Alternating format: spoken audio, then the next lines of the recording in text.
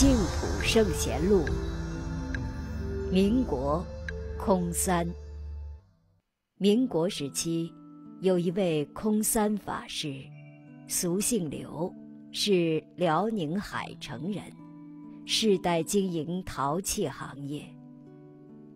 空三法师在未出家之前就很喜欢布施。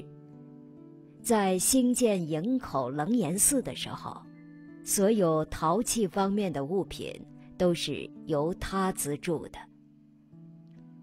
两年多后，楞严寺落成，空三法师感悟人生如幻如梦，于是就在本县的镇河寺，里托陈法师剃度出家。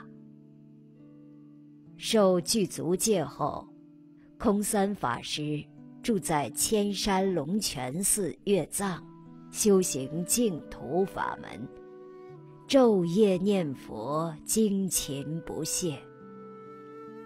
阿弥陀佛，阿弥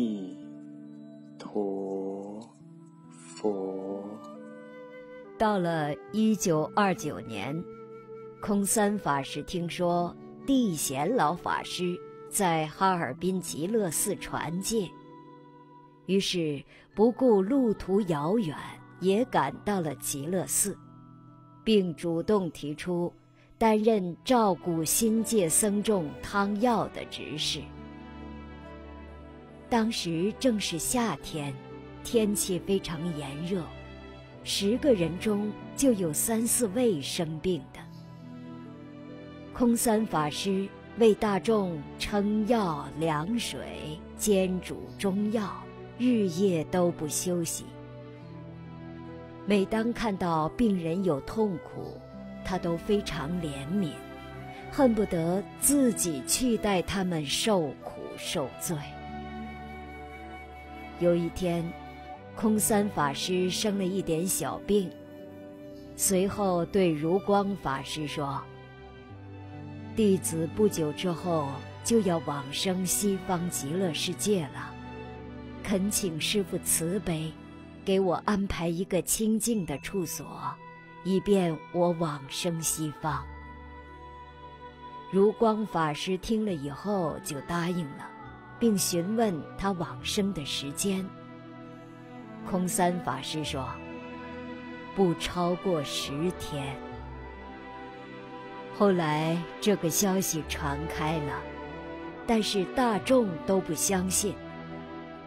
第二天早晨，空三法师搬到了寺院东边一个清净整洁的房屋里。如光法师嘱咐他好好的静养。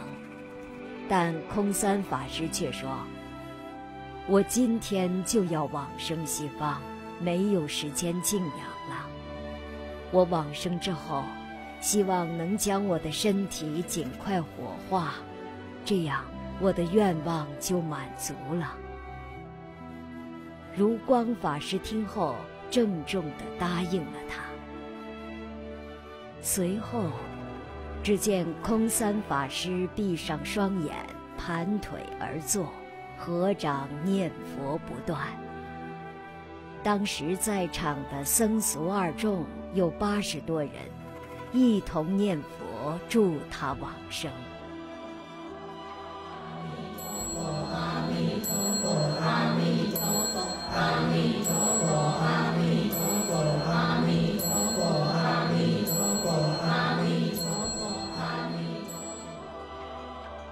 光法师请他在临往生前说一个“偈”字。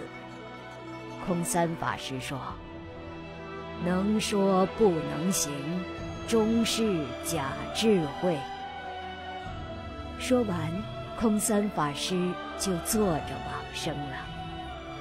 当时的时间是，一九二九年五月十三日。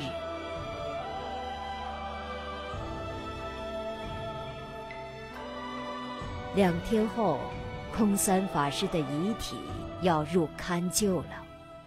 却只见法师仍然端坐如生，身旁没有任何苍蝇蚊虫，而且还时常能闻到异香。